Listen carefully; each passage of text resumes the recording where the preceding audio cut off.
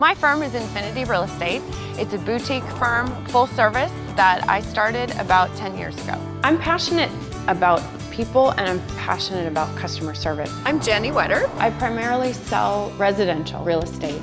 As a real estate professional, it is my job to try and ascertain what a person's unique needs are. Jennie's abilities and her energy that she brings to not just the community itself, but also on a personal level is like none I've ever seen. She's very energetic, she's very passionate, and she definitely cares about the entire transaction. Once we identified the property that I did wind up buying, she got involved in the minutia of the negotiations to the extent that she really did an amazing job. She got me my price and she got me my closing.